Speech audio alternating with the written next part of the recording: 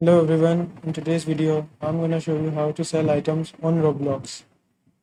The process is very simple, so let's get started. Now the first step is to open up your browser and make sure that you're logged into your Roblox account. Now once you're logged in, navigate to your inventory by clicking on the inventory option on the left side of the screen.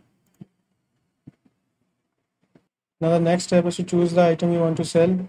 Browse through your inventory to find the item you want to sell. Also note that not all items can be sold. To check if an item is sellable, look for a tradable status. If it says no, the item cannot be sold. Now if the item is sellable, click on the three dots icon in the top right corner of the item's image and then click on the sell option that appears in the drop down menu. Then just set a price for your item in the pop-up window. Now once you've set the price, you'll receive a portion of the sale as a Robux cut after the item is sold. And that's pretty much it. I hope you guys found this video helpful. If you did, please leave a like and subscribe. I'll see you guys in the next one.